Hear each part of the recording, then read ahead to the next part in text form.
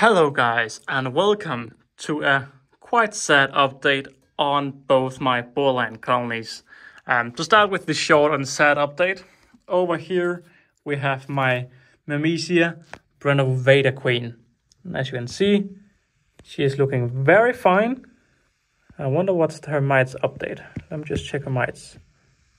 Would you like to walk through the door? I think that is a clear no. Of course, okay, I guess she's hiding in the shadow. But um, before I left on vacation, she had three quite nice looking larvae. Upon coming home from vacation, even though she was fed but she didn't hunt, the larvae were gone. And can I get a glimpse of you? I'm not sure if she's mite or not. Basically, how I feed her now to ensure that she always gets the food is I remove this and feed her right there. Um, because I feels like I felt like before when I fed her in the outworld, she actually didn't come out into the outworld. Um, to experiment this, I've actually fed her um, a quite large cricket here. She hasn't touched it at all. Um, but the funny thing is she only goes out here with trash. So she cleans up after herself, but she's cleared out the trash without actually touching this. Um, so the only way she actually got food before was when the food walked all the way into this nest. She is experimenting in this sometimes, but yeah, it is a little bit of might update, might update, might update. Anyone on the mandibles? She looked quite clear. Nothing on the mandibles as far as I could see. Get out here. Either way, mites are not as bad as you clearly see them. So the way I now keep her is I keep her in the dark like this, feed her in here. I need to clean this out. It is just my maintenance and I thought I'm going to do this while I do the maintenance. Then we have the really sad update, and that is basically the Borderline Queen. She's living, oh, by the way, this is a colony from Ant & Co. There'll be a discount code in the description, and this whole setup is also from Ant & Co. This is also a colony from Ant & Co. Hey, and there's a discount in the description. You already knew that.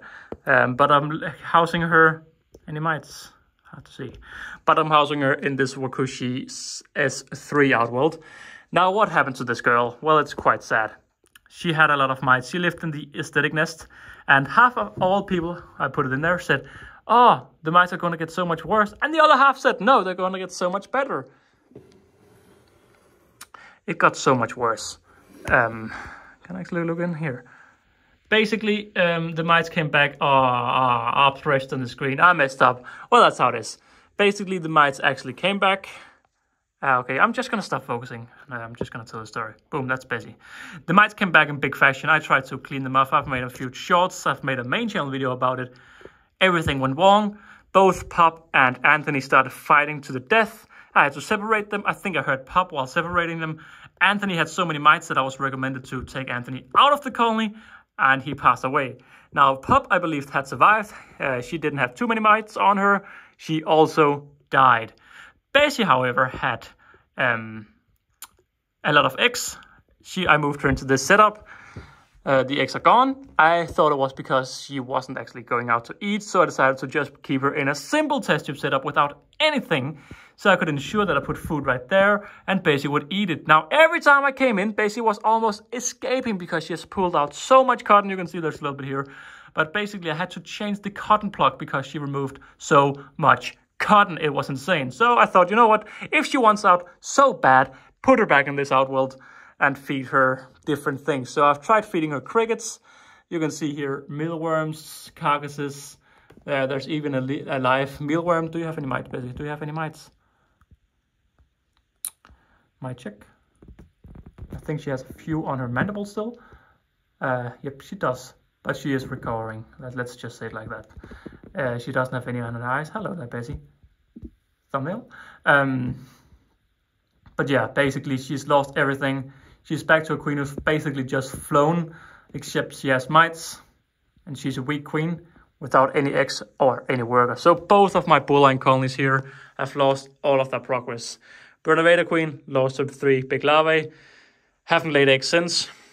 Bessie have lost, she had two cocoons when I got her. The one cocoon failed, the other cocoon became pop. Then she laid, I think it was 16 or eggs, 12 eggs or something.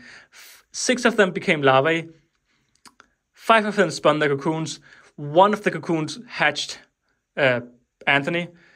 Then she had. I'm missing a segment, I think. Either way, she had another cocoon. The other cocoon died. Now she got mites big time, and she's back here. Square one.